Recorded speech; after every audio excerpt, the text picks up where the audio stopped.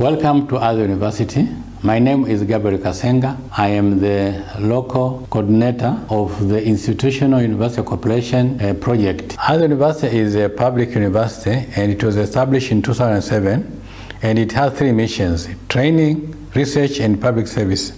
And it focuses largely on land-based and built environment fields with the ambition of becoming leading civic center of excellence in knowledge generation and dissemination.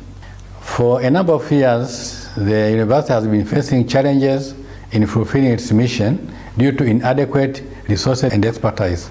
For example, the university is offering courses on urban planning and environmental sciences.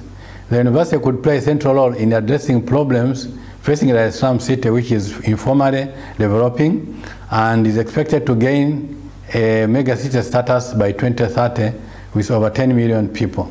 ARU has secured a 10 years project under IUC partnership with Primary University and the title of the project is establishing a new center, the African Center for Sustainable Cities Studies to build capacity in education, research, innovation and sustainable built environment in a rapidly urbanizing city, Dar es Salaam, in line with SDG 11. The project is comprised of seven domains. The first domain is land use planning, which deals with participatory planning and land-based resource use conflict mediation.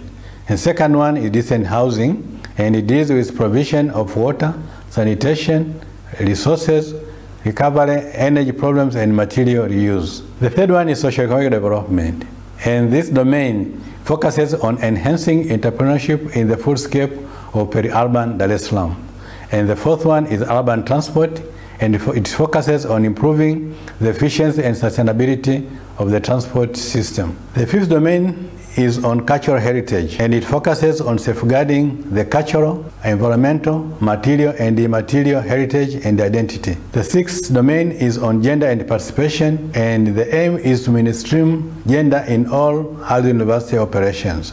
The seventh and last domain is on ICT and innovation, and the aim is to mainstream the use of ICT in all our university operations. We are optimistic that through implementation of this project, challenges of Dar es Salaam will be effectively addressed and the city will grow inclusively and sustainably. We are looking forward to a fruitful cooperation with our Flemish university partners, especially Hassan University as a leading partner. Thank you.